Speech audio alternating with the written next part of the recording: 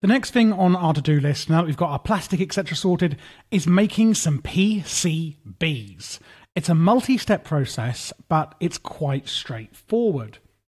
The first thing you're actually going to want to make, however, is an Amadron tablet. These are really, really cool. So you can put them in your charging station and then you can charge them up with pressure. I can't remember where my charging station is, but you should have it from when you've used your pneumatic wrench. And when we go into the Amadron tablet, you can see it's basically a store. What we're going to do is go over to a chest and shift right click the chest. You'll see this little orange square inside. And that is where you're going to put your things. If you go into the Amadron tablet, you can um, sell and buy things. So, for example, for 14 emeralds, we can buy a assembly program, drill, and laser. But in here, what we actually want today is a PCB blueprint. So, eight emeralds, okay? So, what I'm going to do is put eight emeralds, or more than eight emeralds, into my chest here that I've shift clicked to note it for the Amadron. And then I'm going to go down and I'm going to right click this PCB blueprint. And what you'll see is there's a number one on here, orders in basket one. If I left click it, it goes down, right click, I've added that order. And you can add loads of orders if you want. You could do whatever the hell you like. You can also um, use middle click and shift left click, etc. There's little um, slot information here, but I'm just right clicking to add this to my order. And for this tutorial, we only need the PCB blueprint. So, okay, we're going to press place order.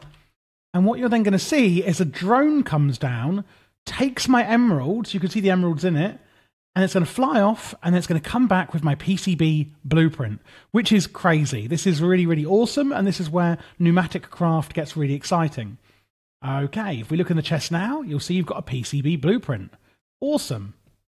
As well as the PCB blueprint, we're also going to need an empty PCB. To make this in your pressure chamber, we're going to need some plastic sheets. And if you are using this in a mod pack, don't forget that you can actually use plastic from other mods like Industrial Foregoing. Uh, gold or copper nuggets and two redstone torches, and that will make you three empty PCBs, and it needs 1.5 bar of pressure. Now, what's annoying is, for example, if you're like me and you want to use um, like Mekanism pipes to input into your pressure chamber, it does work a bit annoyingly in the fact that it tries to put in one item at a time. So I could put in my three nuggets. You see one goes in, the other two come out. And then in a minute, the other nugget will go in. See, now the second one goes in, and then you've got to wait again.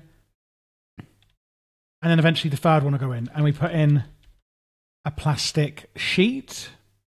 It should be two redstone torches. I don't know if there's only one in there or two. So I'm just going to put in a second one just in case I've only got one in there. And now, as you can see, we've gotten some empty PCBs coming out. I've now got six in here. It does make three at a time. I already had three in here from earlier when I was testing this. So out comes from the output slot three empty PCBs. So let's just use one for now. So what we now need to do is charge this empty PCB with sunlight. And we do that in a machine called a UV light box. Now, the UV light box is very simple to make, but it will need PCB blueprint, which is why we ordered one from the Amadron. So you make it and you just place it down with some pressure tubes. And then what you're going to do is input your empty PCB. And you can see it does need access to sunlight and it will need um, one or more pressure. I've put a safe a security upgrade in here to make sure that the pressure doesn't go over, and I've put some speed upgrades. And as you can see, the success chance is going up slowly. If you don't have these speed upgrades in here, it will go a lot slower. The success chance you can let to get to 100% if you want, you can let it get to 80%, and you can add a threshold where it will push it into the output slot at a lower percentage if you want, like maybe 92% chance. I'm going to leave it at 98% chance. And as you can see, with five speed upgrades in, it really doesn't take very long at all. If you do get a failed one because you've put the threshold really low, for example, you can put the failed one back into a blast furnace and be able to use it again. So as you can see, it's getting to 90%, and I'm just going to take it out at 90%, so you can take that out manually if you like.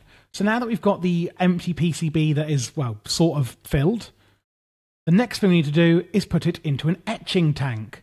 So the etching tank itself, I don't believe is very difficult to make. No, it's quite simple, but you are going to need some etching fluid.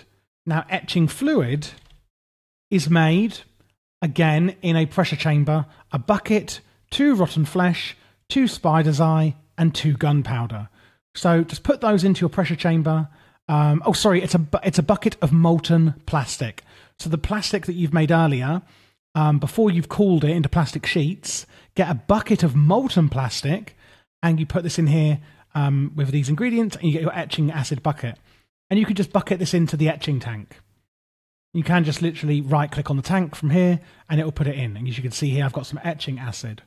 So we then get the empty PCB, and I put it into this huge grid here. I don't know why the grid is so big, but as you can see on here, it's now got the etching progress. So once that progress is done, we will then get a finished PCB. Well, we not we won't actually. That's a complete lie. We'll get a um, unassembled PCB. My apologies. So you can see here, empty PCB with the etching acid goes into an unassembled PCB. With the unassembled one, you simply just craft it with some transit, transit transistors and capacitors. Um, and capacitors are made again in the um, pressure chamber with a plastic sheet, a slime ball, and some gold nuggets. And the transis- transistors, oh my god, transistor is made of a plastic sheet, some redstone, and some nuggets as well. What I would do is probably just make a few pressure chambers at this point, if you haven't already, um, for different recipes that you're using, and probably make some big ones as well, um, where you can have more input slots and be putting things in faster to get these recipes going. So once you've made those and you've gotten your um, unassembled PCB, that's obviously going to come out of our etching tank here when it's finished, we then get the finished PCB. And the finished PCB can be used in quite a lot of things. We've got a chunk loader upgrade for chunk loading, a programmable controller, assembly controllers, drone interfaces, assembly platforms. This is where the mod gets really, really interesting. You need them in things like your drones and your assembly drills, which we're going to be using in things like assembly lines. And you're also going to need them in things like solar compressors, you know, for your more advanced air compressors, a flux compressor, um, and also micro missiles and things like that. Also including the pneumatic chest plate and boots, etc., that form the pneumatic armor. And there you go. That is how we make PCBs.